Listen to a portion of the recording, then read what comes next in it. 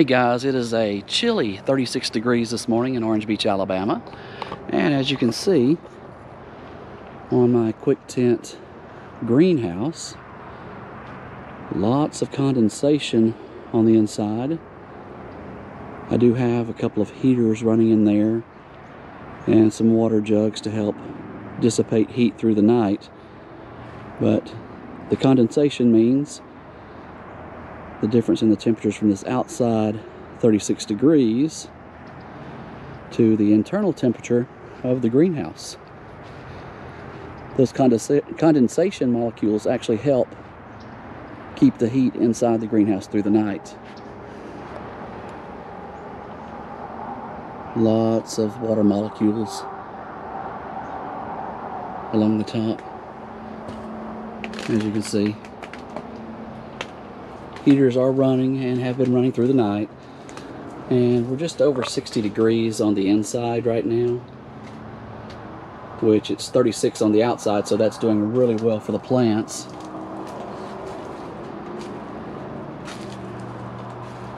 So, greenhouse is doing what it's supposed to do.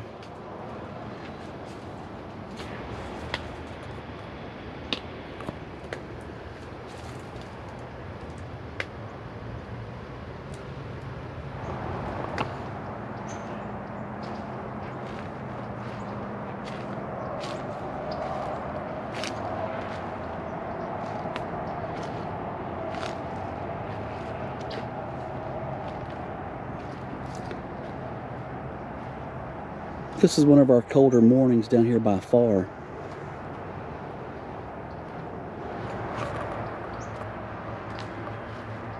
Now that the sun is reaching the greenhouse, it'll start to warm up pretty quickly.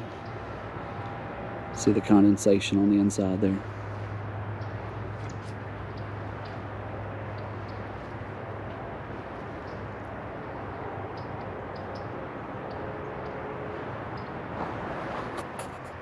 It is currently, I don't know if you can see that or not. Let me turn this around a little bit.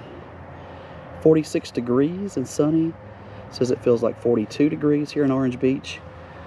And within an hour of the sun getting to the greenhouse, the temperatures in here jumped up well over, my lens fogged up, well up over 90 degrees.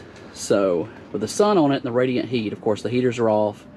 This is all being heated by the sun now we'll have to open up the indoors and let some air breeze through here. I like to keep it about 80 to 85 in here during the daytime with these tropical plants. Sorry for the fog on the camera, but coming in from 46 degrees to now it's about 85, 86 degrees in here now. I do have one of the zippers unzipped on one of the indoors.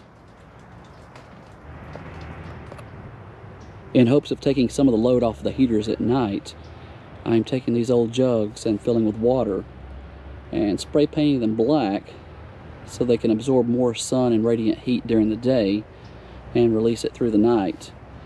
These themselves won't heat the greenhouse, but hopefully they'll put off enough radiant heat to keep the plants from going below freezing should something happen to the heaters or the heaters go out.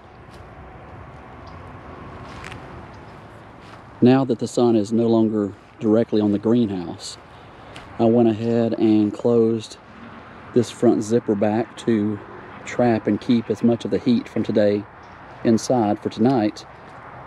It's currently now 63 degrees.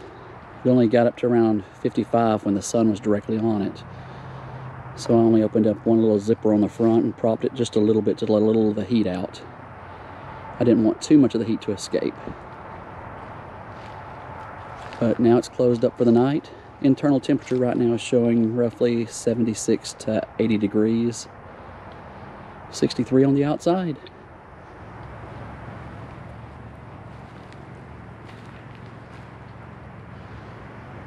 Okay guys, for full disclosure, this video will be containing an affiliate link. If you were to click on it and make a purchase, I will receive a commission. With that being said, I can honestly say that so far I'm quite pleased with my greenhouse that I've gotten from Quictent. Quick Tent's going to be having a Black Friday sale and a Cyber Monday sale. So if you've been thinking about or considering a greenhouse, check out the deals.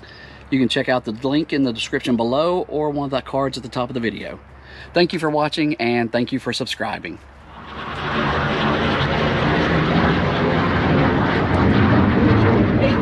inches. Here they come.